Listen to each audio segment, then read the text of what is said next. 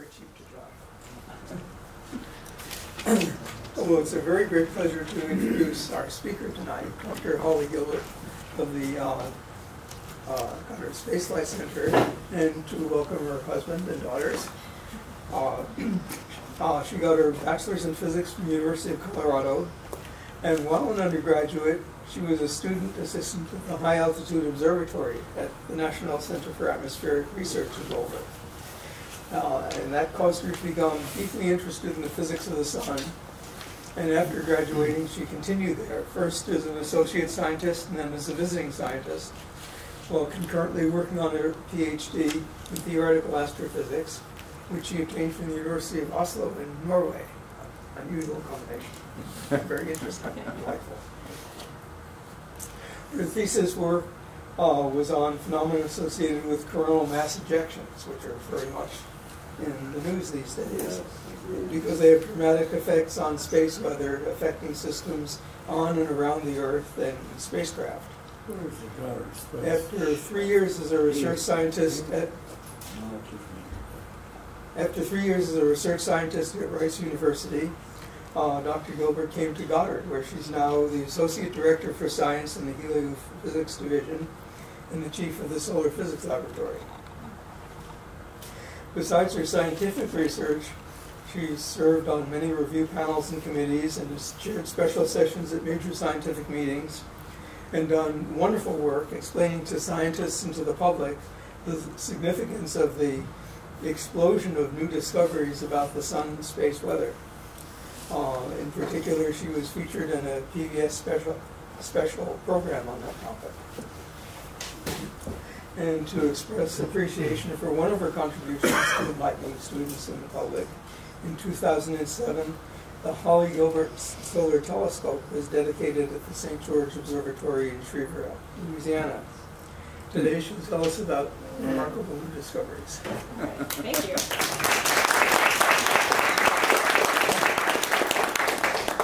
So much for that introduction. Are we going to be able to turn the lights? Oh, yeah. Okay, yeah. perfect. Because I was like, this is going to be hard. Red lights only. This is, I, I understand, this is a group of nighttime astronom- astronomers. and I'm a daytime astronomer, so I'm actually very uh, glad that you invited me here to, to speak because I um, sometimes like to mingle with the dark side. but I, I am especially glad to come talk about the sun. Um, as my family will tell you, that's the, my favorite topic to talk about, and they're probably sick to death of hearing about it, but for some reason they wanted to come tonight, so. That's great. Uh, I'm going to be talking about the dynamic phenomena on the sun and how that impacts us here on Earth um, in the context of SDO, the Solar Dynamics Observatory, which is um, a mission that launched in 2010. So I'm going to be showing a ton of movies and data and really pretty pictures. And uh, it's feel free to answer to ask questions. I'll answer them while I'm talking or afterwards. Either way is fine. But also, if I'm not loud enough, let me know so you can hear back. Okay. All right. Well, let's get started then. Um, why do we care? Why should we even study the sun or understand anything about the sun? Well, actually, we live inside the solar atmosphere. And so it becomes very important for us to understand how this impacts us. So this is just an animation, not to scale, but this shows that the sun has this, this huge bubble around it, and this is called the heliosphere. And this is a region where solar wind, which is constantly emanating from the sun, it's constantly blowing out its atmosphere at a million miles an hour. And most people don't realize that, that this solar wind, it passes Earth, passes through the entire solar system, and actually uh, hits this edge of the solar system called the heliosphere. And so this is an animation just showing how that might look if we were able to zoom way out, look at the, uh, the solar system. What I want you to notice is that it's not just static. The, sort of the theme of this whole talk is dynamic behavior. And, and this whole heliosphere is actually breathing. It kind of looks like it's breathing. And that's because the solar wind that is moving outward and pressing out against this bubble, which is also magnetic field, that solar wind and the way that it comes out of the sun varies with time. And I'm going to talk about the solar cycle and how that changes. But you can see through this animation that it's not a static uh, environment. And, and here we are, right in the middle of it. And so all this solar wind and everything that happens on the sun will impact us um, somewhat directly. So that's, that is why we should care about what's going on on the sun. In, in, in addition to the fact that it's very interesting, it's just inherently very cool. Well, I think Very it is. hot. Yes, and very hot. yes, I mean we. It, the sun gives us life and, and warmth. Yes, question. Okay, what was the sphere? Okay, so the sphere, this sphere is uh, this is basically where the the very fast solar wind ends, and then it slows down. So you get this termination shock. Basically, it's the same thing if you turn on your faucet in the sink and you see an area where the water is, is quickly moving out, Yeah. and then you see a round edge. And this is the same thing. You have very fast uh, solar wind, and this is just the edge of where that ends, and then it's slower past here. Now, now, now when um, the pioneers or, or Oh, Viking, yeah. which one, was it the sphere or the? So that's yes, Voyager one and two, uh, which is very it's very neat right now because Voyager one they think has entered actually through this area here, and so it's it's past this, and it, there's still some debate as to whether it's really outside into interplanetary space. Some people say absolutely it is, and the reason it's hard to know because we don't know exactly what to expect out in interplanetary space. We can we have some theories. I'm sorry, inter- interstellar. Yes, I'm, I'm just used to thinking closer to home. Interstellar space and the magnetic field. We can um, theorize that it should be a different, a certain direction and the density. And so, getting the measurements now, there are. The, the, uh, the other problem is that it's not necessarily a smooth surface like I'm showing here. There are regions where it might might go fold back on itself. And so Voyager 1 might have just entered into one of these little areas where it's kind of interstellar space, but not really, and then it might enter back. So there's a lot of debate. In the next couple years, I think we'll know for sure, but it's very, very exciting that we actually have a mission that is outside of this environment. Okay, what makes the sun dynamic? And that's a reasonable question. But um, before I go into some of the details, let's just first touch on some basics, because I think I need to slowly bring some light to this crowd. Again, nighttime astronomers, right? so here's a nice picture of a, of a sunrise or a sunset, and this is what you know people generally think of when they think of the sun. It's just nice and quiet and peaceful. But it's just another star. Exactly. Yeah, exactly. True. It's, it's just another star. This is what it looks like through a camera lens. Again, you know, it's pretty, just kind of peaceful, static. And this is what it looks like uh, from a telescope. And most people are familiar with sunspots, or have at least heard of them. And many people have probably seen them. I mean, it's. I think that's a pretty common thing to be aware of. And this is just a, an image of the photosphere, which is the lowest layer of the solar atmosphere, and it's the visible part of the surface. So we can see uh, basically these dark areas here called sunspots, and I'm going to talk about those in detail in a bit. But I just wanted to introduce you to the lowest layer of the solar atmosphere, the photosphere, and this is about mm, 4,500 to 5,000 Kelvin. And Kelvin is just a unit of, of temperature, and it's, uh, I think that's, I don't know what the conversion is. I think one Kelvin equals about minus 470 some Yeah. Fahrenheit. Yeah. Thank you. Okay. Was- Body temperature is 310. yeah. So, so I'll be talking in Kelvin, but when you get to such high temperatures and such high, large numbers, it doesn't really matter too much. But um, now, the this is the extended atmosphere of the sun, and it's only visible when you block out the very bright surface. So this is a very, very, very bright disk of the sun. We can't see the extended layer of the atmosphere unless we block that out, which naturally occurs with total solar eclipses. And I just saw my total, my first total solar eclipse for the first time last year, and it is an amazing, incredible experience. I hope that some of you have been able to see them. Yes. We've Uh, seen a incredible. few. Yeah, I saw. Fantastic, unbelievable. But I wanted to show you this uh, image just to point out that there are these little structures here, these little pink structures. Actually, there's not a ton of them, but there's some here. That is that is part of the chromosphere, which is the middle layer of the solar atmosphere. And then this white stuff out here is the corona. And so it's just the very, very hot part of the solar atmosphere. And I'm going to show you the temperature variation throughout the solar atmosphere in a bit. But to give you an idea, that there are different layers of the atmosphere, in fact. Well, this is nice because here is a uh, image taken by a satellite called SOHO, and this is showing the surface, but we can also, we're also, this is overlaid, so this is a composite image. So you can see the corona and these very detailed structures, and these are magnetic fields. these like loop-like structures here. Now this data, this was a, a total solar eclipse uh, that was imaged, and then that data was processed so that we that you could pull out these very detailed, fine structured um, regions. But you can see that they connect to other things on the surface of the sun. Here's one of those uh, things that were sticking out on the eclipse picture, and this is part of the chromosphere. And it's a very, very complicated structured region, and this is actually uh, during a, a region uh, during a time where it's fairly simple. And I'm going to talk about the solar cycle um, and how it varies. But That just to give you an eclipse idea, in Turkey, was it which many of us saw. fantastic? I wish I wish I would have been there.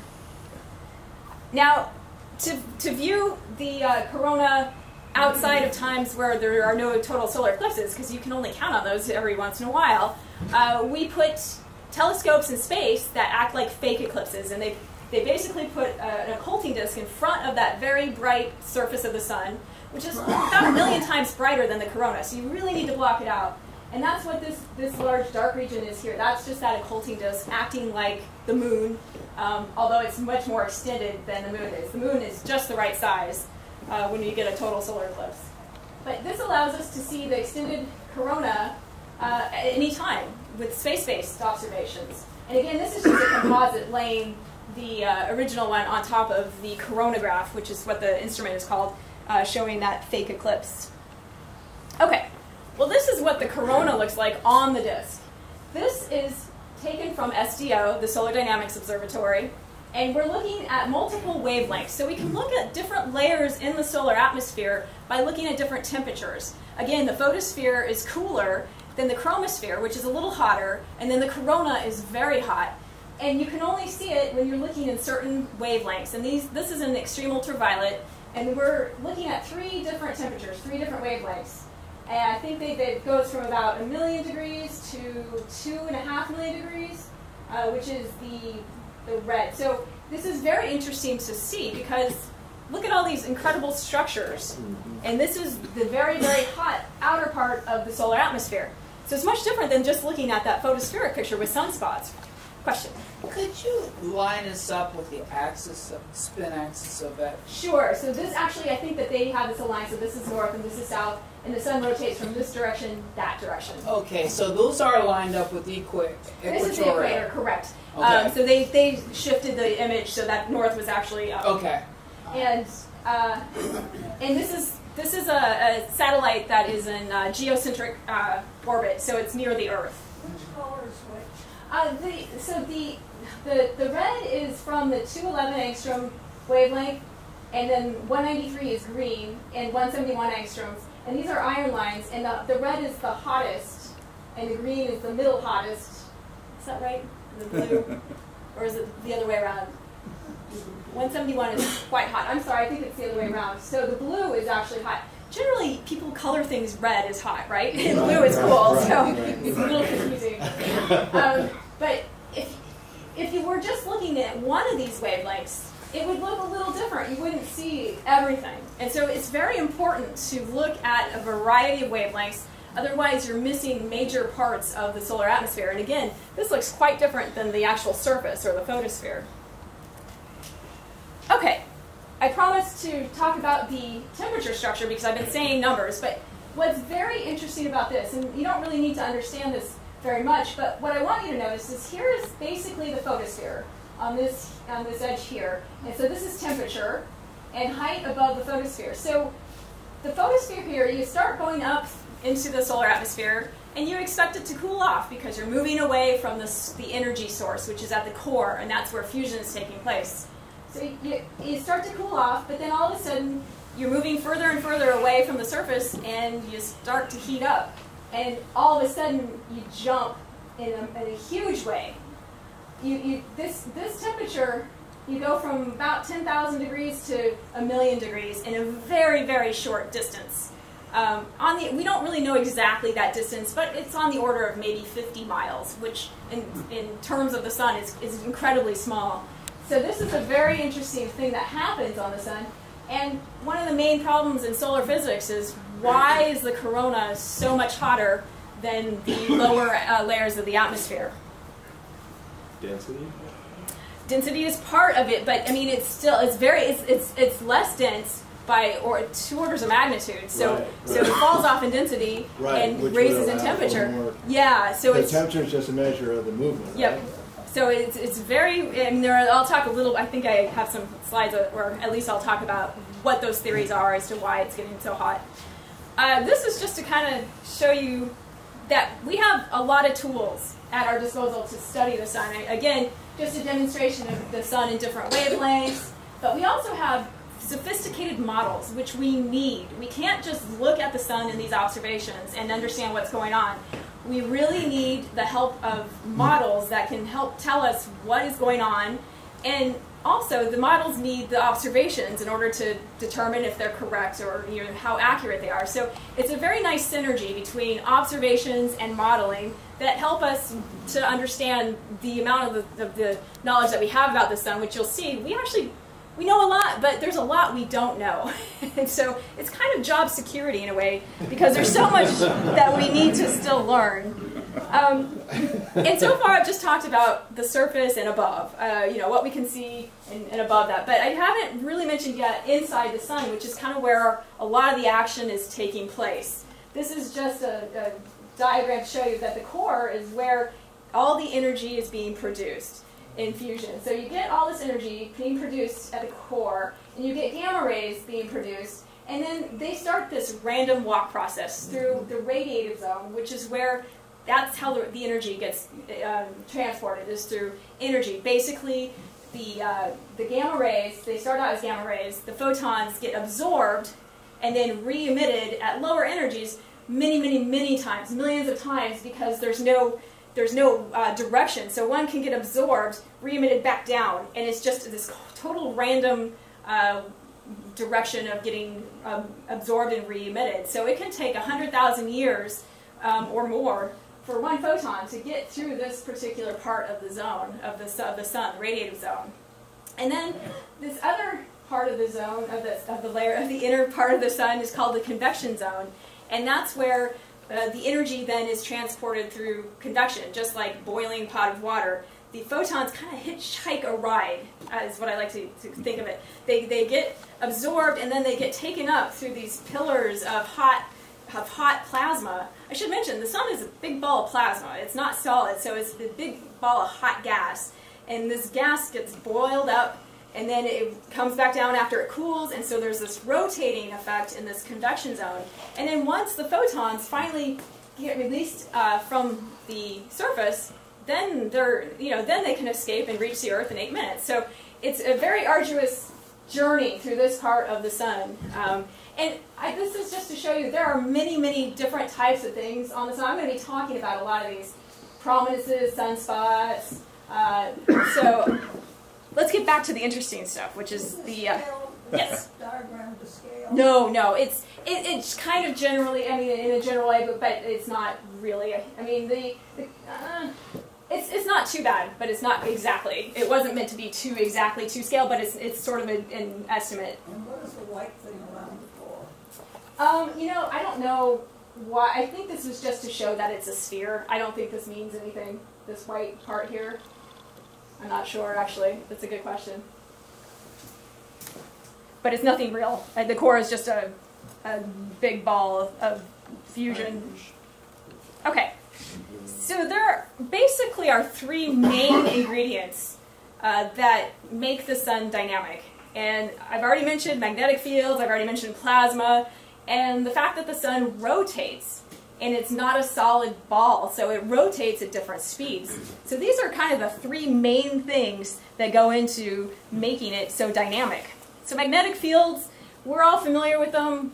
We have refrigerator magnets. Um, probably, at least at, at some point in school, you did the iron filings experiment, of course, and many of you I'm sure have because I think a lot of you are scientists. Um, and you can see magnetic fields only when the iron uh, outlines the fields because you can't see them; they're invisible. So you need some substance to to follow those uh, those magnetic fields to see them. And on the sun, if you think about magnetic fields or putting a magnet on the sun on the surface, part of that part of the fields are going to be sticking out of the surface. And luckily, there's a hot plasma that acts just like the iron filings and allows us to see the magnetic fields. And here's a real image. You can see those, those loops of hot plasma outlining the uh, magnetic field. So that's how we know that these, what the magnetic fields look like on the sun. Otherwise, we would not be able to observe them because they are visible. I mean, they're invisible otherwise.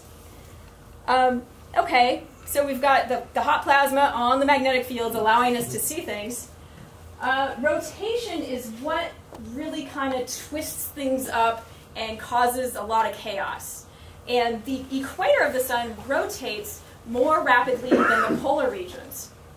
And what happens is if you can imagine that you have sort of these magnetic fields along the north and the south, fairly simple, the sun starts rotating more quickly, and so the magnetic fields on that part of the surface are getting pulled along more quickly. And they, they start to kind of get this shape. And that happens over a long period of time. All of a sudden, you've got this twisted mess of magnetic fields all over the sun. And in little regions, it's twisting. Not only is it twisting around, but there's internal rotation going on as well. And, and so you have all of these things messing with the magnetic fields, twisting, twisting, twisting, and they can get so twisted up that they pop through the surface and create these little regions, and that's where sunspots are formed. Question. Yes. The fields go bend towards the uh, rotation. They do, they do, because that- yeah, because yeah. the rotation carries the field basically with it, and Got so, it.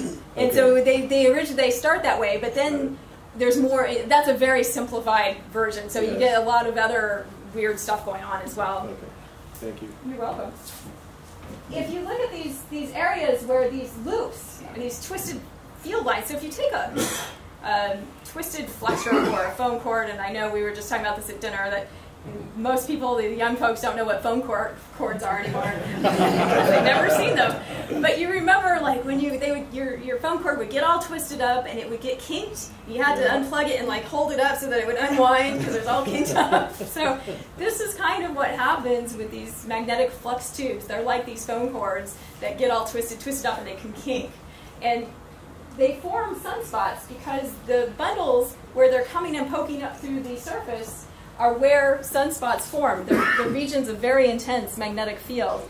And here is a, a image. This is real data looking on the solar disk. Oh, it does not look good on the screen. Uh, but you can see these are the sunspots and the loops. Now they don't they look just like this cartoon, right? The loops that go in and out, and they have different polarities, meaning the north and the south. Uh, this is exactly it- this is a very simplified way of thinking of it, but this is this is what we think is causing sunspots. Let's look at sunspots more carefully.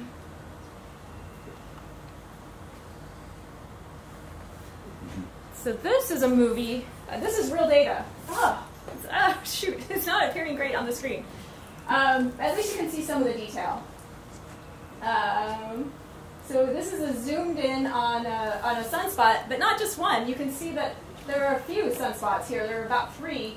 A lot of times sunspots form in groups. And these are the regions where space weather occurs. These are the, the culprits of what we call space weather, where they're causing solar storms. I'll talk a lot more about that, but just to give you an idea, sorry, this movie is not Mass ejection. Yes, which I'm going to be talking a lot about since that's my favorite favorite topic. but while we're on the topic of sunspots, um, I'm going to review what the, the solar cycle is because generally, when we think of the solar cycle, which means that the sun has periods of time where it's very, very active, there are tons of sunspots, and then other periods where there are no sunspots or very few sunspots. And this is called solar maximum and solar minimum. And this, this is an image, these are images of the solar corona. So not the surface where we see the sunspots, but the corona. And this is the difference in solar maximum, what it looks like, and solar minimum. So it's very different looking corona. Not only are the sunspots there to represent solar maximum, but the corona looks different. So this happens on average every 11 years. In fact, we are right now at solar maximum. which is very neat. I mean, there's there's more activity than there was certainly a few years ago. We uh, we went through a very very low uh, mild solar minimum where we weren't seeing anything for a long period of time. So there's a variation not just in the actual number of sunspots and how active the sun is, but the type and the, the strength of the solar maxima also varies. I'll show you that. Um, the, the poles reverse their magnetic field, and in fact, we just went through that since we're at solar maximum. So this happens every 11 years as well. And this just means the amplitude of sunspots. So the number of sunspots varies from 0 to 250, and there is a small change in energy um, output. In fact, when there are fewer sunspots or no sunspots, the, the Earth has a bit of cooling. And in fact, there was a period of time, I think I, I think I have that slide, where uh, we call Maunder minimum, which cor corresponded with uh, the little ice age here on Earth. So what's happening on the sun does impact overall global average climate a little bit. Um, so it's kind of interesting that when we just came out of a very deep solar minimum a few years ago, the Earth was actually warming, and so it, it, there there are. I, it's not my area, and there's a lot of controversy, of course, going on. Uh, but the uh, the sun does impact uh, global climate just a little bit. Okay, so this is a this is a plot of the number of sunspots down here. So this is the year 1870, all the way up to 2010. Although we haven't filled in this yet. And you can see the number of sunspots increases, that solar maximum, on average every 11 years. But look at, this is a very high solar maximum. This is a very strong solar maximum compared to, say, this one. This is a pretty weak solar minimum, or solar maximum. The one that we are in right now is weaker than here. And although I don't have that plotted, we are in a very weak solar maximum, meaning there aren't that many sunspots compared to some of these other ones we don't understand why this varies and why there's an actual pattern, not just on the 11-year cycle, but in overall general, perhaps there's patterns in the in the long-term uh, variation as well. This is just a plot of the of how the sunspots act. So they they migrate towards the equator, and this is the same time. So you can see during solar maximum. Let's look at this big solar maximum. During solar maximum, you get basically sunspots near the mid regions, and they're migrating slowly towards the equator. And then all of a sudden, when the new cycle starts, they come, they start appearing at the poles. And so this is kind of a neat spatial uh, thing that happens as well. Yes. Question: How confident are you of the absence of data points at high latitudes? Oh, very good question. So we can only see for well now we have STEREO. We can see behind the sun, but we can only see one side of the sun for most of this time all, most all this time. And and this, the sun is not completely, it's, it's tilted a little bit away. And so you're right, we can't see the polar regions very well. However, sunspots really don't occur where there's open field. And the polar regions is where they have open field, meaning that it, it extends way out. It doesn't, it's not actually open, but it extends way, way out. And you need regions where it's more closed to, to form sunspots. So we're, we're confident. But you're absolutely right. Observationally, we, we can't see exactly on the poles. There's a mission coming up that I'm involved with that is going to have a, a tilt uh, about 34 degrees, and we're going to be able to observe directly the poles. So that's very exciting. Thank you. Yep. Here, again, this is uh, this is data from SOHO, which was a mission that has provided the most incredible solar data um, for many, many years. It really changed our understanding of solar physics.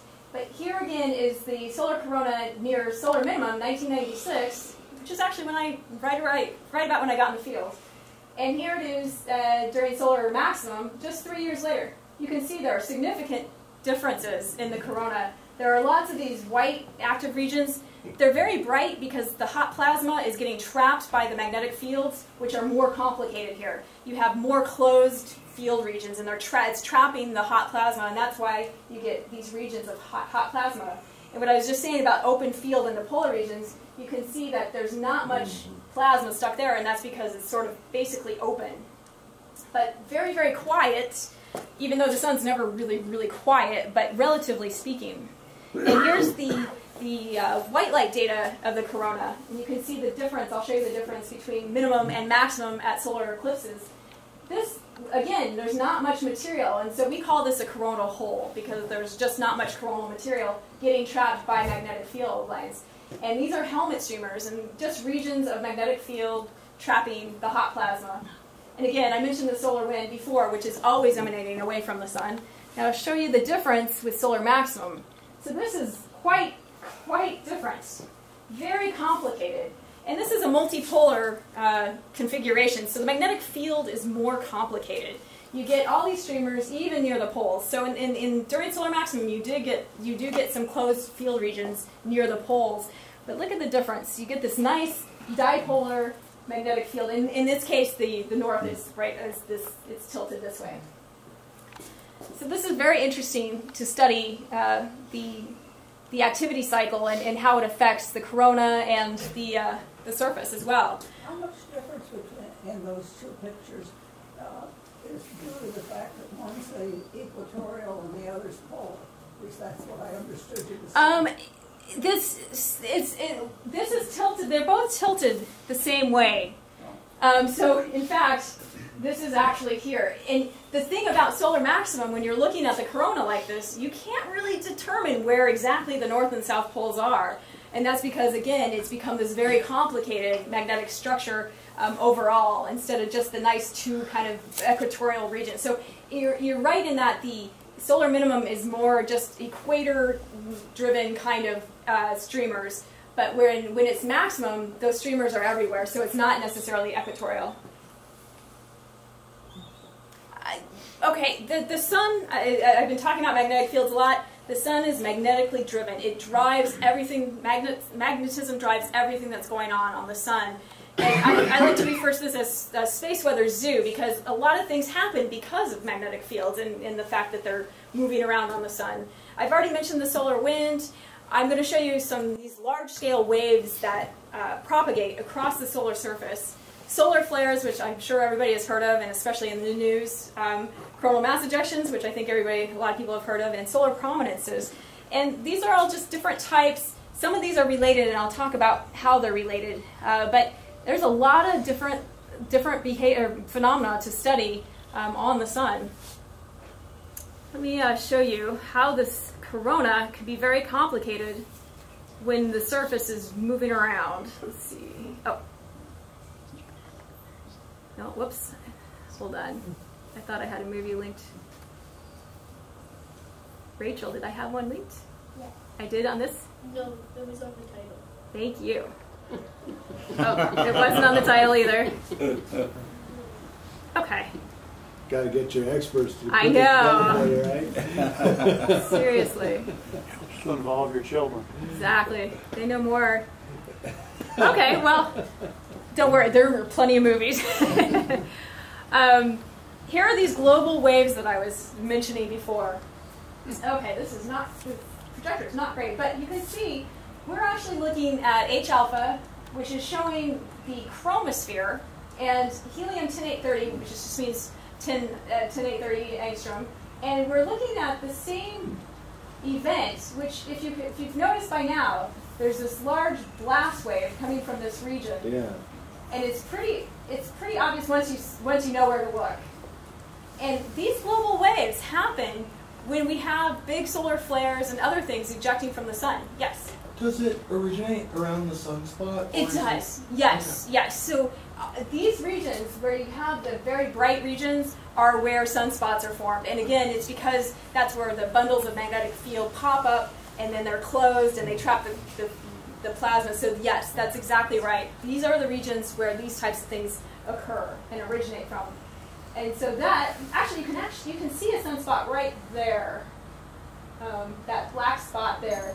But it's pretty neat that these huge waves travel across such a, lar- a large part of the surface, and these can travel as as fast as well. The ones that we've measured, I think we've measured one up to 2,500 kilometers per second. Wow. So they're, they can be quite. Oh, I said the range right there. Glad I was right. Let me show you what they look like in the coronal data, because not only are we seeing them in the chromosphere, yeah, uh, this will replay, so in case you missed it. So it's a big puff originating from this active region, and it goes all directions. And it travels all the way real- up. That's not real time, though. It's not, this is every uh, 12 minutes. And so you can see it's moving, this is moving quite fast, uh, the, the movie is. Um, but again, I think this one was traveling at 600 kilometers per second. Very, very fast. It, it has global uh, implications. It can cause other things to go on. And so these waves are very, very interesting. Uh, they're one of the things that I've studied in my past research. Flares. Okay, that's the thing that most people have heard of. And, and it's the thing that is most, it, it's represented incorrectly in the media more than anything I've seen. Because usually when they're saying, oh, a big solar flare happened on the sun today, and here's a beautiful image of it, they're not showing you a flare, they're usually showing you a solar prominence, which I'm going to show you in a bit. So I, it's a little bit of a pet peeve of mine because they're not showing you actual flares. Let me show you what a flare looks like. And flares also occur in these regions where sunspots um, are. And this is a zoomed in region, so this is just a very small portion of the sun. And we're looking at about a million to a million and a half degrees, or Kelvin. And all of a sudden you get this very bright region, and then these loops. Those are magnetic fields, and they're reconfiguring, and they're very, very hot, and then they cool off. And so first, the very bright part is actually on the order of 10 million Kelvin.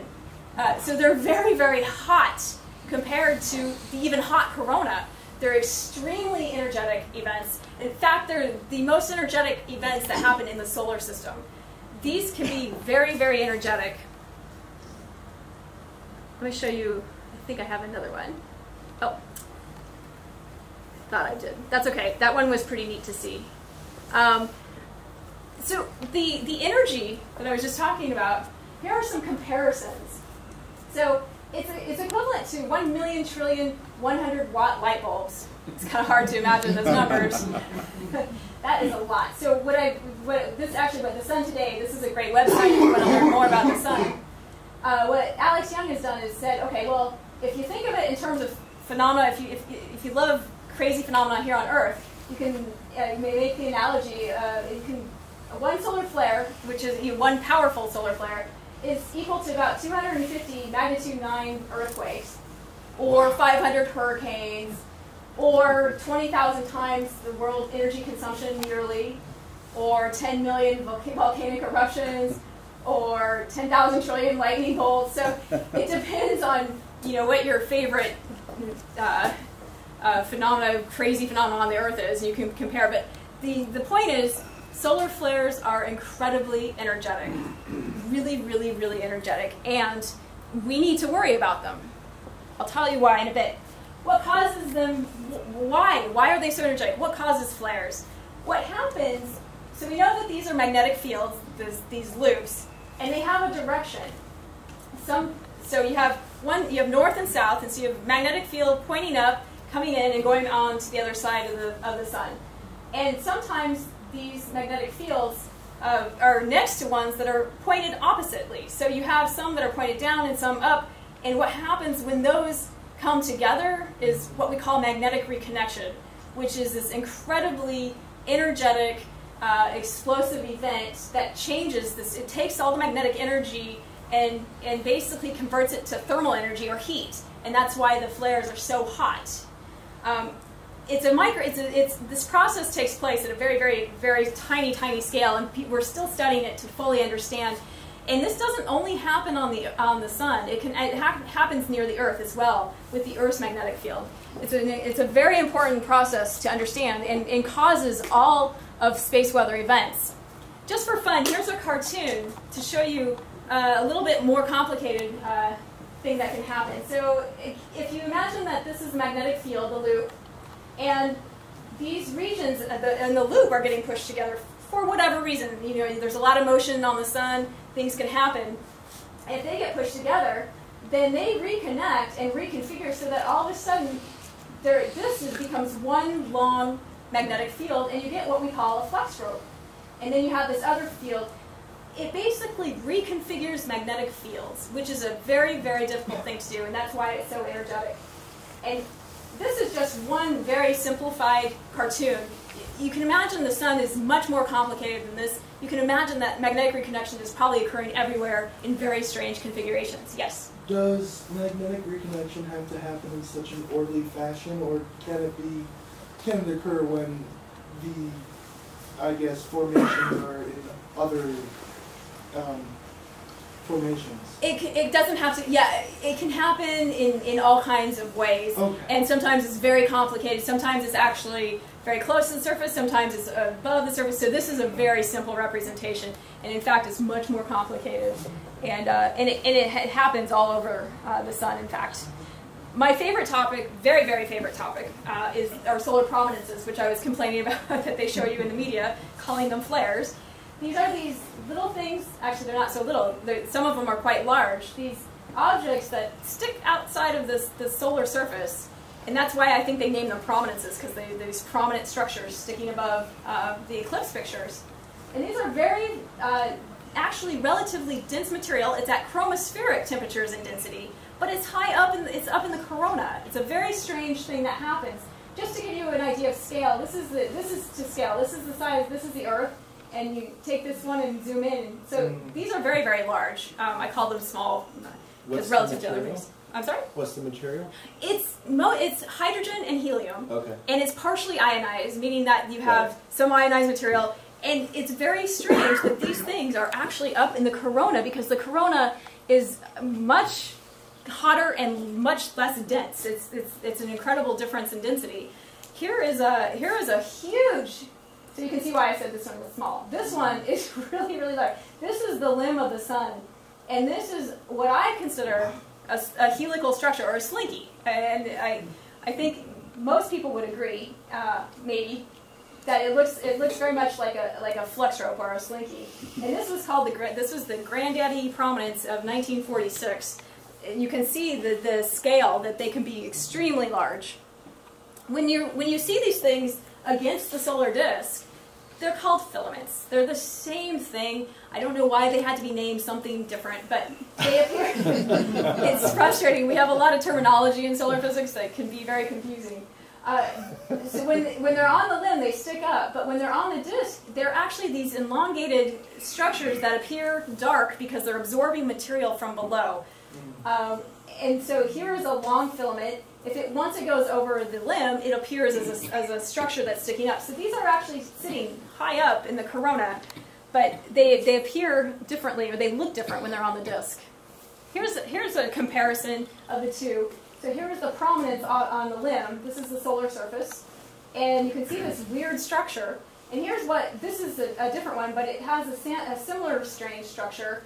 And we point out that we name these things different, uh, these different types of uh, the parts of the structure. This is the spine that connects the foot points, and these are little barbs that connect also to the surface. Yes. I noticed earlier that your, in one of your slides, that the radiation zone can get to 1.5 K Kelvin, but the convection zone can be between 0.5 and 2 It- It, it depends, yeah. So again, it depends on the very hot part can get very hot, and so it's not exactly a linear drop off in temperature Okay. throughout the interior of the sun as well. My question was, could that be related in any way to filaments and or prominences? Um, good question. It, uh, it's not because these are very different, and the, the processes that are taking place are very different. Uh, but to, to be honest, we don't understand why, how these form, for one thing, and why they're suspended, why they're held up. And we suspect, well, we know that partly they're held up by the magnetic field uh, because they are uh, partially ionized, and you need ionized material to be connected with the magnetic field. But other than that, we're still trying to understand why they form, how they form, and why they are as odd as they are. Um, yes. Are, are, is this mostly surface uh, stuff? Is this is not propagated throughout the, the entire star, though? Is it? Can you see evidence that it is? It, well, it's on the surface. Yes, Right. it's on the surface. So this is just a bunch of noise going on on the surface. Where basically, if I was sitting in the middle in Right. the core, I wouldn't know that all. You'd have a lot of other different noise. Yeah. a very different type Yeah. of noise. Yes. None of the stuff is, is happening inside. This is all Mhm. definitely above above the surface. And just in case you were looking, wondering about some of the, the fundamental properties, um, they can last really long. They can they can they can last rotations on the sun. Um, and when I say last, uh, I should explain what that means. Um, they they do have limited lifetimes. They, they erupt and they erupt into these solar storms that are associated with solar flares. And I'm going to show you um, actually some cool movies of that happening. How dynamic are they over their lifetime? Um, that's very. So they actually are very dynamic even when they're quiet. And I'm going to show you a movie of a quiet one.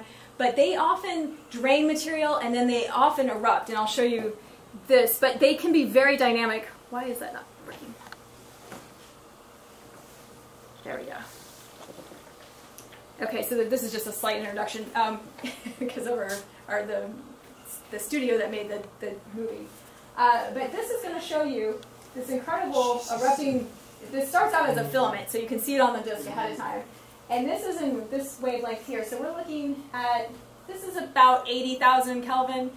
It's not as hot as the corona. It's just right in that middle. This is hot, and you can see once the eruption occurs from this little area here, it's going to occur, and then all of a sudden material is also falling back to the sun. So not only does it erupt, isn't it great? This I actually I studied this very event. I studied the impacting material. Once the material comes falling back to the surface, see how it's brightening up? Yeah. So I, I did a cal- we did a calculation to figure out how much energy was uh, being deposited on the surface. Uh, but this is this was actually not a very large filament that erupted, but you can see the amount of material that came up, and and uh, some of it escaped, meaning that it came and it went out with a coronal mass ejection, uh, but some of it fell back to the surface. So this is pretty. I'll wait till Can you guys duplicate this? Duplicate. No, they do. well, actually, not. That's a good question. They there are some lab experiments where they can get to pr- prominence temperatures, and they kind of have a little bit of the same structure. But it's not quite. They're not quite realistic. But it's it's it's not bad. So they kind of can. But to uh, not to do the eruption part and the magnetic reconnection part. That If we could do that on a regular basis, we'd have fusion yes, we would. That would be that would be wonderful. Yeah. Fusion is a good thing, yeah? Can you identify a filament and then, based on its characteristics, predict when it's going to erupt? Excellent. Yes. Well, no. but, that, that's what we're trying to do. That is the goal. Is to say, okay, we know that this filament has a certain twist this way, and it's and it's starting to rise or it's starting to do funny things. We know that that's going to erupt. We haven't got there yet, but we are studying that very thing, and not just the filaments, but also uh, the sunspots and the regions around the sunspots. Very good question. So that hopefully will lead to real prediction at some point. Um, this is a. Oh, my movies are not wanting me to click on them. You Need your experts up there I know. I should have had Rachel up here. Or, or Charlotte. Okay. So this. The reason I'm showing this, you can see there. Let me. Uh, once it loops again, there's one filament here, one filament here, and all of a sudden this one erupts. Now watch. This one all of a sudden erupts as well. You can see that dark material lifting up. we have to name this something. So they name this sympathetic sympathetic eruptions, meaning that there might be a connection that the one erupting created some weird magnetic configuration that changed the other one and caused it to erupt as well. So these prominences are very, very uh, dynamic as well. Here is a close-up of just a part of a little prominence, or filament, since it's on the disk. I should get my terminology right. Look at this very fine structure. Very weird, very hairy. um, we don't understand why this has such fine structure. This is one thing that I'm trying to study myself, is why, what sets that spatial scale. And of course, we're limited also by the spatial resolution of the instruments that we're using. So we're trying to get higher and higher resolution instrumentation. And let me show you what I was talking about, a very uh, quiet type prominence. And even with a quiet prominence, there's a lot of motion going on. Actually, this one, I, I didn't expect this.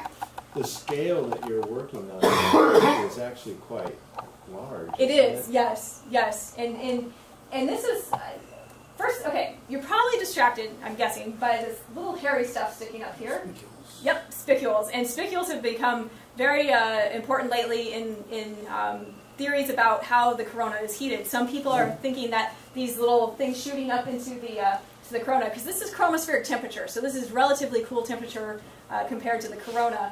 And they think that these spicules are, are heating the corona by spitting material up in energy, um, but I'm not going to talk about that, just to mention that that's um, part of what's going on.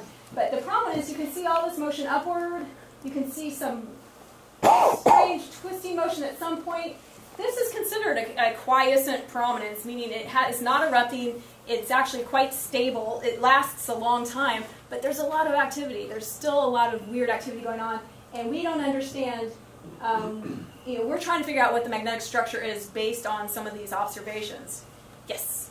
Um, am I looking at this wrong, or is there some falling back? Yes, there's also material falling back. There's some going up, and if anybody's familiar with the Rayleigh-Taylor instability, um, then that's we think that that's what's going on here.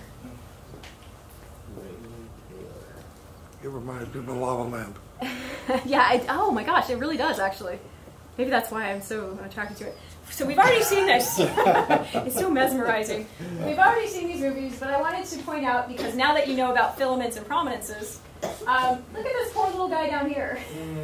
Did you see the wave just completely blasts by it, causes it to disappear for a while, and the poor filament is oscillating and survives. Like I'm surprised. Why doesn't this one erupt? I mean, this huge wave comes by, disturbs it, yet that doesn't erupt. So we're trying to understand why some of them erupt, some of them don't, and how something like that can survive such a, a large um, disturbance. And part of it is that the, the wave is higher up. There's a lot of details, but There are no sunspots at that those latitudes, are there? not many. No, no, not not at those latitudes. Uh, this was in 2006, so it's um, yeah, no, there shouldn't be.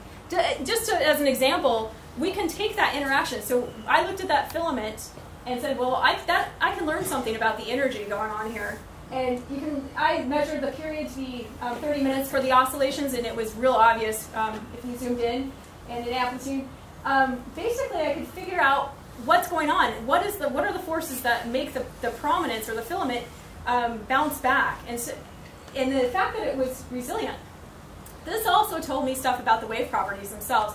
I just wanted to show this as an example of the, uh, when we look at these observations and the types of uh, interactions, we can extract actual, real, um, neat physical properties of these types of behavior. Uh, but I won't go into details. Okay, here's for some real, I'm going to say eye candy, because it really is. Um, and the reason I'm showing this now is because you've you've now heard about all of this really, really neat dynamic activity and this is a nice sort of long movie. I'm going to show this again at the end when we're talking. So if you don't feel if you if you want to see something again, it'll, it'll play again. This is from SDO, um, which did launch in 2010, and has been it's providing unprecedented data in terms of spatial resolution and temporal resolution. If you uh, can imagine downloading a million and a half iTunes a day, that's how much data uh, SDO is providing us. and it's taking an image every 10 seconds. And it's, it has 11 wavelengths, so it's taking uh, data in 11 different wavelengths and with very high temporal resolution and spatial resolution, which this projector is not doing it justice. But the, uh, you can see the very detailed loops here, and you're going to see a ton of activity. You're going to recognize some of the activity because we've already talked about that. What, we don't even know what that is. That doesn't fall into any of the other uh, categories that I've talked about. Something new. Yeah, exactly. We're always discovering. And this is a huge flare here. Look at this prominence. Oh wait, that's an eclipse. The eclipses can't happen in, in actual uh, space-borne instrumentation as well. Um, this is zoomed in, active region. Here's a nice prominence and very weird structure. It looks like it's twisting. Here's another filament eruption. Look at the twist. Now, if you notice down here in a bit, this is going to look like it's even twisting even more. And that material is escaping, okay? I'm not sure why this is spinning, but that was a huge wave. That you, Did you notice that wave passing by there? Um, Should I understand that there's energy invested in the curvature when their uh, arcs are small, and as that curvature adopts larger radii curvature, it's less Yeah. curved, Mhm. the energy is released, and that's what drives it? it, not necessarily what drives it, but you're right that there is an energy change. Uh, so it could be, it could be part of it. Is, is that the, the more curved you get, the more tension, and then the, the more. But it, it, it's intimately involved with this magnetic reconnection, and that's really what's going on. In fact, so flares um, and the prominence eruptions are basically manifestations of the same physical process, which is the magnetic reconnection. Um, but they're they're different beasts, but they're both they both have that magnetic reconnection going on, causing them. So that's it's, it's easy to get confused between um, these different types of things. That's Venus. Yeah. That's Did pretty anybody cool. get to see that uh, Oh, yeah. for the last time uh, in our lifetimes? So that was really neat. And those are the different wavelengths showed. Another, another big flare. Okay, so I think you've seen enough of Was these. that flare or filming? That was a flare. You know what though? A lot of times a flare will go off and a filament will be erupting from the same region. Mm. So you get this, you get the two things happening um, from the same region. This is what we call coronal rain again because we have to label everything. But it's just hot. It's hot material that's cooling and falling back down. Is it possible the anchorage of these phenomena? Like I'm, I'm still thinking about that little Yeah. filament that you know got bumped around but kind of returned to Right. the same spot. Yep. Could it be anchored at a much lower altitude?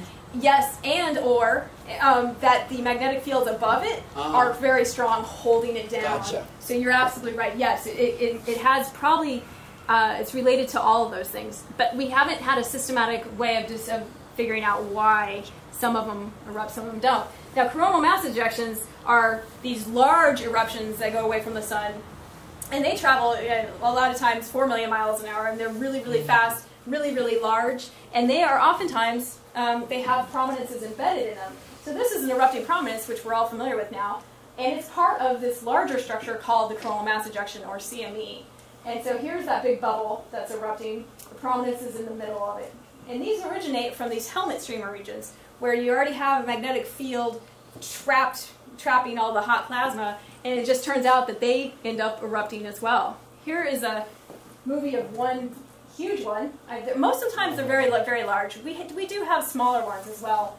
Um, this is a coronagraph, so this is from space, uh, fake eclipse. The sun is actually this white circle here. You can see how large these things can be. Incredibly large. That's, what's ejecting is um, protons? or protons? It's it's actually yeah. I mean it's it's electrons. It's all of the the plasma. So it's all the mass and the magnetic field. So it's ejecting both the magnetic field and all the hot plasma. Um, here is a zoomed out view of these mass ejections. This is a di- these are different events. Uh, you can see the sun now is this small little circle. This is just the the arm holding the occulting disk. So it's a it's uh, just an artifact. But look, you can see these huge things erupting not just in the north, but you see this halo type thing. Well, that means if you're looking at one of these structures, which is kind of like a cone, if you're looking at it from this direction, it's coming at you, it's actually going to appear like this, this halo type thing. And you're seeing that here. Now, you don't know if that's going away from you or moving towards you. In this case here, we know it's coming towards us because look at all of this snow. That that is all of the um, energetic particles hitting the detector on the telescope. And it's causing this, this snow. That was the last picture, right? Yes. no, no, no, I can recover from that. But it's, it's kind of neat because you're looking, you're actually seeing space weather right here. This is space weather. When I talk about space weather, it, it's how these dynamic things affect us here on Earth and at other planets as well, and our telescopes and our other missions. And here you can see it happening. This halo was coming at us. So when I talk about solar storms, I'm mostly referring to coronal mass ejections, and I'm just going to show you beautiful effects when that happens. So when they do happen to hit the Earth and are very strong, they can cause stronger aurora, which I'm still haven't seen in real life. Really? Uh, That's a bucket list we, item. it is. We drove to Vermont not, uh, last month, searching, going on a little bit of a aurora run. Didn't it didn't work out. Yes. Yeah, was it, was a coronal mass ejection responsible for the loss of telegraph service Yes. in the mid 19th century? Yes, so there's this huge, huge event called the Carrington event. Um, and that is, is one of the largest flares. It also had a huge coronal mass ejection associated with it. And absolutely, the coronal mass ejection uh, is, again, is all this magnetic field and mass. The magnetic field, when it hits the Earth, interacts with the Earth's magnetic field. And that's what causes these energetic particles to get kind of trapped near the polar regions. So you have the Earth's magnetic field, you have the coronal mass ejection coming, and magnetic reconnection can occur.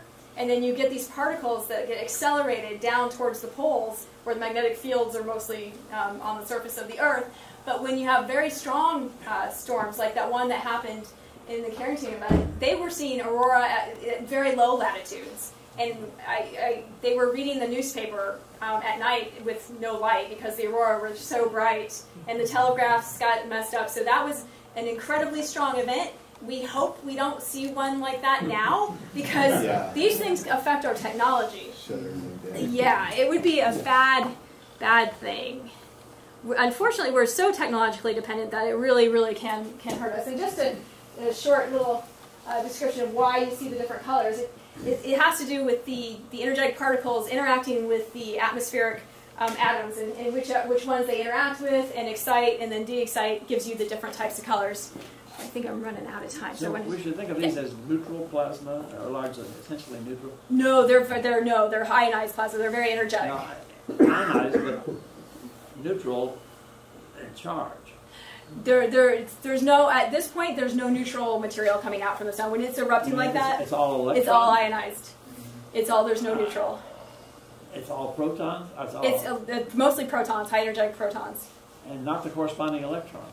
I know it's some of the some of the electrons as well. So the the, the mass ejections carry all of that with them, and But then we the don't know the charge. we uh, Not I think that well. It takes an awful lot of energy to separate charge. Yeah, yeah, absolutely. Um, I, the, they, they, there's a, a wide range of energies that cause these different things, and, and I'm not an energetic particle person, but I know that they can just, they can detect which ones are the ones that are causing like the aurora. But uh, but yeah, they're just high energetic uh, particles. Um, I already mentioned a little bit space weather. Uh, they it, it, it it causes the aurora, which is beautiful, but there are also bad things that it causes. It can cause problems with our satellites, our communication satellites, even uh, our GPS, which we are now dependent on. Uh, so it becomes very important to be able to predict when these are going to hit the Earth. I mean, you can have coronal mass ejections and flares happening all over the sun, uh, but when are they going to hit the Earth? When are they going to actually cause problems? Because even if they hit the Earth, does not mean they're going to cause problems. So there's, it's a very complicated thing to model one of these coronal mass ejections coming to the Earth, understanding which uh, orientation the magnetic field will be, because it, it also gets embedded in the um, in the solar wind, which has different speeds. So it's a very complicated thing to model, and we're getting better and better at it. But it's very hard to to predict not only when they're going to occur, but if they're going to even cause problems or be geomagnetic. And uh, this can cost this can cost a lot, a lot of money per year. Power grids go down. 1989, North America suffered from a large solar storm. Uh, I think they were out for nine hours in some areas. So the power grids going down right now is, is kind of a big deal. Um, it could cause a lot of problems. Um, polar flights. Now, when you're flying over the poles, which people are doing more and more now, um, the navigation over the poles becomes a little bit dangerous. Not dangerous, but you get exposed to more radiation if one of these storms hits and you're flying over the poles. Uh, what airlines do uh, is they actually will reroute their flights if they know that there's a potential storm coming, which is great because if you're a passenger, you're, you're, you're going to be exposed to a little bit more radiation, but it's their, you know, the, the pilots and the people, the flight attendants, they don't want to be constantly uh, exposed to that much radiation. So that's also another problem.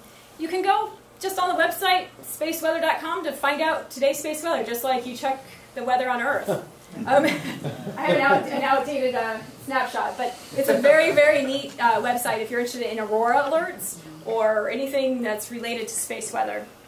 Is that from Goddard? No, it's not. But the, actually, the guy that runs the site um, has done work. He's a contractor for NASA, so he does. He's related, but um, but what Goddard does have, as a nice segue. Uh, we run this uh, community coordinated modeling center, which uh, which is where uh, international people um, work together to model these things, and we we do send out predictions. Uh, not for humans, but for the missions, the, the satellites. Uh, so we actually send out uh, alert saying, okay, there was this really big flare, and our models show that a CME might hit the Earth. So do something about. You can turn your satellites into safe mode uh, because they can be very much impacted by these things hitting them. But heliophysics at NASA is really on it. We have a whole fleet of missions looking not just at the sun, but how things are how things are impacted here at Earth. These are looking at the magnetic reconnection going on here at the Earth. Um, this isn't even updated. We have one that launched uh, recently, and I'm going to show you a little bit of data from that. But just to show you, it's not just a simple thing. You can't. I showed you a bunch of solar data looking at the sun. That's great, but it it's really requires looking way beyond that, not just at the sun, but how it's impacting the Earth, how it's impacting other planets, and all the way to the edge of the heliosphere, which we've already sort of talked about. Voyager's already there. We have a mission that is actual actually able to sort of uh, image the edge of the solar system. So it's very, very neat system science. It's not just one simple thing. And I'm going to show you, this is very, very new data, and that's why I wanted to show you. Um, IRIS is a new mission that we sent up recently, I can't remember how many months ago. And it is, it's this square here, and it's overlaid on SDO data. But you can see the resolution. This is looking at the transition region, that region where that temperature increase happens, that very steep temperature increase. And look at the the little resolution here, and it's a spectrograph as well. But this was the largest flare that it has caught so far, and I just thought it was neat because this data just came out, and I wanted to share it with you as part of this talk. Okay, well, it's very hard to study the sun when you can't go to the sun. Um, we can look at the beautiful images, uh, but we can't actually go to the sun and, and get data, right? I mean, here on Earth, we have the ability to actually collect data right where we are. However, there is hope because we have two missions in development. Uh, one is Solar Probe Plus, which will fly very close to the sun. It's going to fly within nine solar radii. So it's one radius of the sun times that by nine, which sounds doesn't sound like that close, but actually it's extremely close. That's very exciting. And at the same time, this is probably going to launch in 2018, and Solar Orbiter is the mission I mentioned earlier that is also going to go fairly close to the sun, within 60 solar radii, but it's going to be um, on an inclined orbit. So it's going to take a few Venus gravity assists to get it into an inclined orbit, and then we'll be able to look at the polar regions. So that's a very, very uh, good thing if it, uh, as long as it goes. Okay, I don't know how much time I have. I'm probably running out of time. That's so Saturday night. Okay, like, Take as much I only you have, need. okay, I only have a couple more slides, but I just I also wanted to bring up uh, Comet ISON, which was a relatively recent event. Um, how many of you paid attention to that? Were you disappointed that it didn't survive? Yes. I mean, it, it didn't really survive, right? Here's here are the. Uh, part of it. let's see. Here is. Oh come on, movie. Okay, let me try this one. So this is my last slide, apparently. I can tell. Okay, here it is. Oh, coming in. Oh. Here it's coming into the coronagraph, and Yep. it does. Little bit it- there's a ghost of it surviving, right? Um, some of my colleagues, were, or maybe it was a media outlet, they called this the zombie comet because we didn't think it survived. Life after death. we had reported that it didn't survive, and the reason we reported that is because SDO did not see anything. And SDO saw something in the last time. Do you remember the comet Lovejoy? Yep. Okay, here's what S. Oh, come on, movies. I need to get a Mac, I think. Here we go. okay, so this is going to look like it's not doing anything for a second. But what's going to happen, Lovejoy, and we're going to zoom in in this region here, and Lovejoy is going to come and right very close to the sun, and you'll see it come through this way. There it is. It's little, and you'll see these wiggles. Yeah. That was really neat. That was the tail interacting with the magnetic field, and all of a sudden, here it is. It survived. So they saw Comet Lovejoy quite easily in SDO, and we set up this entire campaign. Uh, SDO even changed how it was observing for ISON to catch it, and they didn't see a thing, not a single thing, and that is why it was early on reported that it didn't survive. And then it kind of, after the white light data came back, it's like, well, we sort of survived. Unfortunately, it didn't survive enough for us to see it in the night sky after after it, it did actually end up um, evaporating. It did, yeah. So it was more of a zombie comet. There's, there seem to be patches of, of some extent where the feet of several different um, arcs are planted. what is in common over those areas? And on the sun, Yeah, on the, uh, on the apparent surface, there seem to be patches Yeah. where several different arcs have their feet. planted. Yep, those are What's kind in of- common over those areas? Uh, just that they're intense magnetic fields, so it, it might be sunspot region, and a lot of them are the foot points are the same, but the loops kind of go in different directions. But they're very they're planted in the in the same region, and those are just bundles of magnetic field basically. So they have in common that they originate and end in the same spot, but the loops are in different spatial areas as they are above the For surface. some period of time, it was postulated that there were acoustic Yeah. uh, energies arriving at a surface. I think that's been abandoned. Though. Um, it, it hasn't been completely abandoned, but they are now uh, thinking, whoops, oh shoot, I can't talk and do this at the same time. Um, I was going to put on the, uh, the eye candy while we uh, discuss things. Um, but yeah, so they're, they're, they, they, the acoustic waves have been thought of in terms of a lot of things, in terms of coronal heating and the, the heating of the loops. Uh, but there's also waves, Alfvén waves, that might be heating things. So there's a variety of, of theories, and we just can't yet determine exactly which one is the right theory. So um, that was all that I had. Any other question? And I forget if you're sitting behind this light and you've been raising your hand, I can't see you. So if you, Shut out. yeah, so Let's thank our speaker in that. Yes.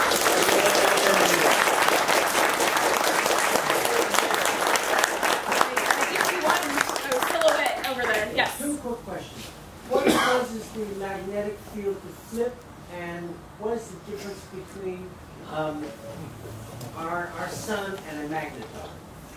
Ooh, good question. The uh, the reason we don't fully understand why the magnetic fields flip.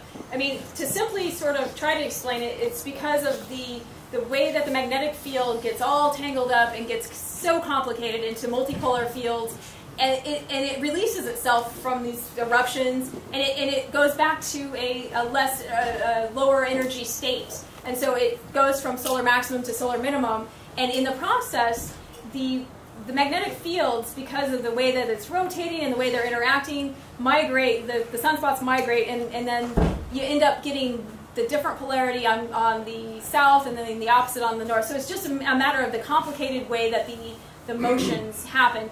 But what was strange is the, the one that just flipped, the, we just flipped uh, recently, the south pole had flipped over a year and a half ago. And so it, it we actually had kind of two of the same polarities. I mean, that's on a very uh, average sense. So it's not that there's a north and a north, but there was more north and more north in, in both hemispheres until finally the north caught up and did actually flip. So it's very weird how that happens. We don't understand uh, the, the solar dynamo very well, um, and that's the dynamo is really responsible for all of this motion and, and causing the solar cycle. It wasn't a simple dipole at all. No, no. So you have a lot of motion in the sun that we still don't even know about, Yeah. right? Uh, yeah, we, I mean, we're, we're trying to model it better and better, Mm. and you know, and we're getting closer to understanding. But yeah, there's a, still a lot we don't know. Well, When there was a power shutdown a few years ago in Quebec, was that caused by a signal? Yes, that was the one in 1989. 1989 that I was talking about. That was uh, that was absolutely caused by a solar storm, um, and and I think that caused. I don't I don't know how much. I mean, besides the fact that the power was out for nine hours, I don't know if that caused people to go crazy. I mean, you can imagine if that happens in a large city, that could cause a lot of chaos, and so it's a little scary. Well, Montreal is a large city. Well, yeah, that's true. But they- maybe not as crazy as something. Uh, back, yes. Hi. Could It's you like big power a moment outage. about the primary and secondary sources of solar neutrinos? Um, I can't because I'm not a neutrino person, and so I apologize. I, I, I can't. It's just the proton-proton chain Was generates, the generates the neutrinos. It's the It's core. Yeah. Yeah. I do know that much, but I don't know anything beyond. Isn't it curious that Neutrinos come out going in immediately. the interior? Yeah, they don't have. They're not stopped. They're, They're just, not stopped. Yeah, they don't go Fifty light through years that. of lead to take half, stop half Yeah, of them. they're not stopped by it, so they come out and they're right just. Yeah. yeah. they go right through. Yes. They go through us. I'm fascinated with spicules. Do we know what causes them? Um, we we don't. The chromosphere in general is this sort of region that we are just now starting to study more. and I make this joke every time I talk. It used to be called, well, we, we used to refer to it, the ones that we were interested in the chromosphere, the ignorosphere, because it's so hard to understand, because the energy and the complicated uh, magnetic structure, it's where you go from the, the photosphere, it's where you have these, like, this transition to the corona, which involves a lot of weird stuff, including where the magnetic fields are more dominant than the plasma. So you have plasma beta. I don't know if you're familiar with that. It, it's this region where you have these transitions, and we're just now um, kind of drawing more attention to it because of spicules and, and the potential that they have for explaining uh, the coronal The heating problem. Energy transfer. But yeah. Don't they originate at the surface, at the Yeah. photosphere? Yeah, They they, do, originate yes, and then right. generate up into the chromosphere. Yes, and we think that I mean magnetic reconnection might be causing them, but even then, it, you know, it's it's it, that's it could be, but we don't know for sure. Good Not, question. not to explain anything, but to perhaps rationalize something. When you have a huge energy release, or there's energy source and sink, Yeah. the interior of the sun and then space itself, you might expect a lot of parasitic modes. I submit that these little things we're studying here are tiny parasitics on this huge energy flux. Yeah, no, that's and I, you're not. I, I mean, people have looked in that, and I think that's not uh, an unreasonable thing to think. I, It's curious that we understand what's going on where we can't see in the middle and we can't understand what we see. Exactly. I mean, it's it's it is. I mean, I, and as we get uh, more and more sophisticated with the observations, the more confusing it becomes. I mean, I thought I understood something about prominences until some of the better data came out, and I was like, this is nothing what I thought. You know, the structure is not what I would have anticipated. Now, that's just the surface, but below we're still in a kind of a thought process that it's a monolith, We have to- which it really isn't. We know it isn't, but a lot of it's there's probably eddies and Oh, cross yeah. currents and and whatever All kinds of all kinds of Yeah. um, turbulence and I mean, we don't even know about. right? Yeah, and we can model, and there, you know, we can model, but yeah, absolutely, we have We to assume. know quite a bit from global oscillation. Yeah, yeah. gl- Luckily, we can we can we can sort of see inside the sun because we can look at the waves that are coming out, and we can look at just like seismology on Earth. We can use helioseismology to know some stuff about the internal. Okay, I didn't know who he's choosing. He's. I'll let you take it over. In the very beginning, when you were talking about the heliosphere breathing and so forth, Yeah. it looked a lot like what you see the solar wind doing to the Earth. Mm-hmm. In other words, there was Yep. looked like it was being pushed. Absolutely. What was pushing it?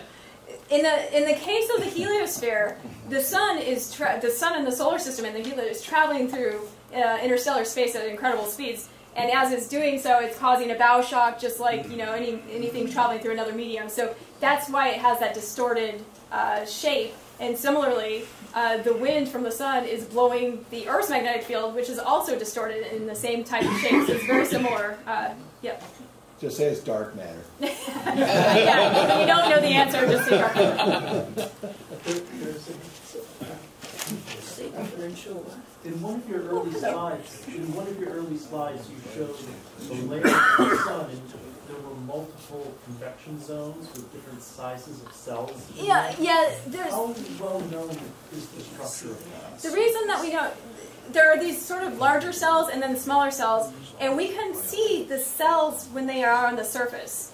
Uh, we can, so we know the size of those of the cells to some extent, um, but we don't honestly. I mean, we don't know exactly everything that's going on below that, but we can we can at least estimate the size of the cells because we can't see them. I didn't show any data to show that, but you can actually see the cell the the convection motion on the surface when you look at it. Is there something you see in sunspots or in? Um, no, those are um, because those are different types of regions, and so this the uh, the cells that you're seeing are more on the quiet, the other parts of the sun, if that makes sense. Any Lots more questions there? You and I pick. Oh, go ahead. I'll let you. okay.